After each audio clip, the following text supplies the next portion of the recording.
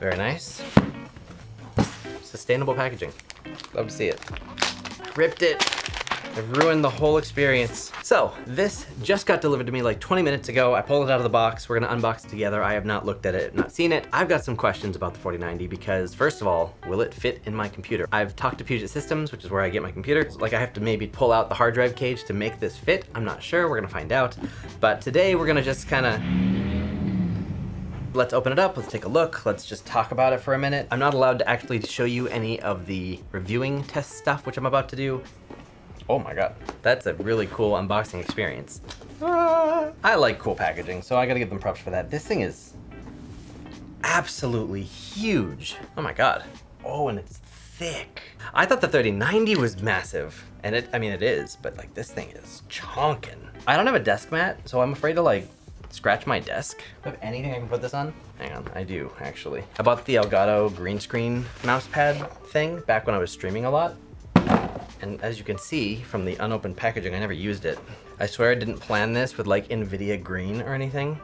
And my shirt's green, whatever. All right, there we go. Now I can set it down. Shoo! All right, for size comparison, I've got some other cards we can compare size. Here is the 4090, the 3090. The 3080 is at my house right now. I don't have it here, I'm at my office. Um, but I have the 3070. I don't think I've shown the 3070 on camera yet. Forever I've been meaning to do my like 30 series comparison of like the 3070, 80, and 90, which I have all three of. I was gonna do a whole comparison for the creative work. I just haven't gotten the chance to film that video, even though I've done a lot of the testing. So when I post my 4090 review, I might actually just use that as an opportunity to show you the 3070, 80, and 90, and the 4090, because presumably, based on the information we have, this card's supposed to like outclass the 3090 by two to four times performance or something. So we're gonna see. I think if I turn them sideways, you'll see what's more interesting though. The width, the girthiness of this card. The 4090 is like, this is like a good bit thicker. So this is the 3090, which was already really big. 4090 on the bottom, obviously, 3070.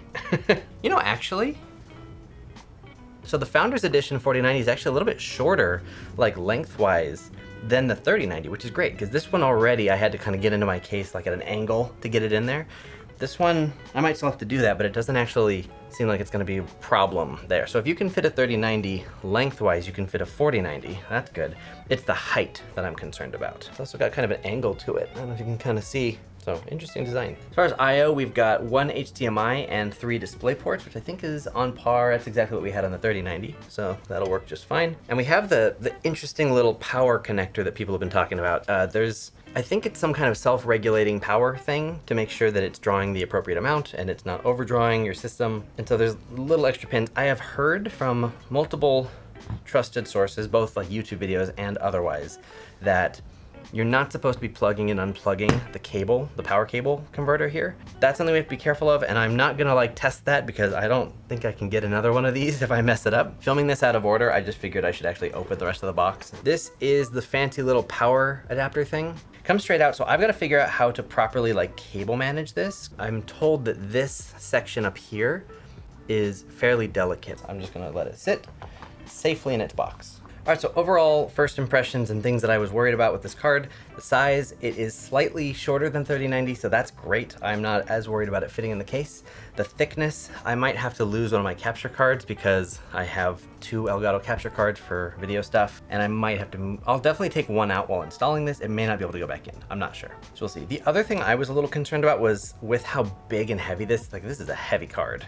We've got multiple brackets, so we should be able to double secure it into the back of the system, so that should help it to not sag. I don't know. Now, obviously there's a lot to talk about in terms of like the internals and the cores and the cooling and you know, the PC building aspect, but that's not my forte. That's just not what I'm best at, and channels like Linus Tech Tips are gonna cover that in way more detail with way more experience than I have in my whole body.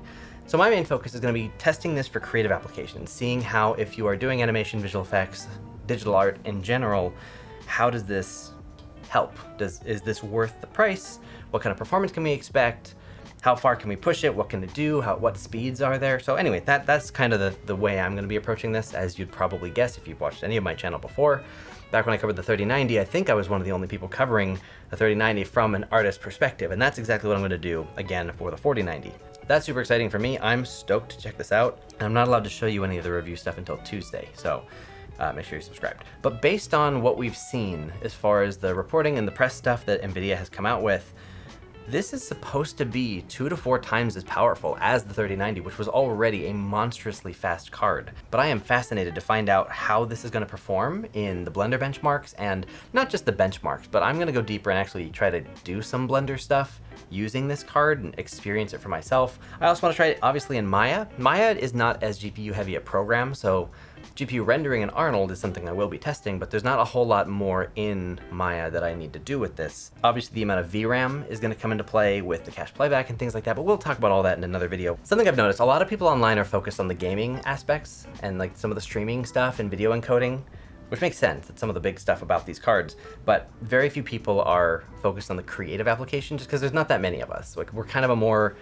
3D artists, animators, digital creators, like that, that group of people, if you're watching my channel basically, uh, it makes sense that most people aren't looking at it from that perspective, but that's why I'm so interested in it. People are sleeping on NVIDIA in terms of what these cards can do. And I'm not just talking about the speed of rendering. We're all pretty much aware that things are fast. There's some really, really cool stuff that you can do with these cards that people aren't really talking about or showing because that's just not where they focus their attention, I guess. It's just not what people do. So that's something I want to look at.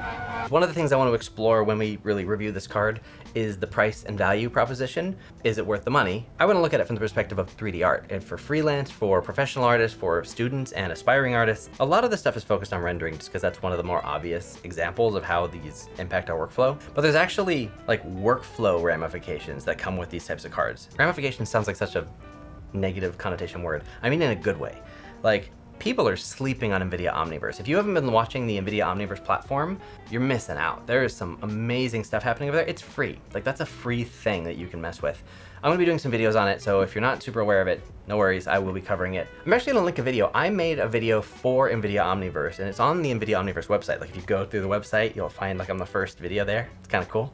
But if you watch that video, it'll actually show you a really, really interesting thing that exists where you can literally connect Maya and Unreal and Houdini to Omniverse. Blender has the support for this.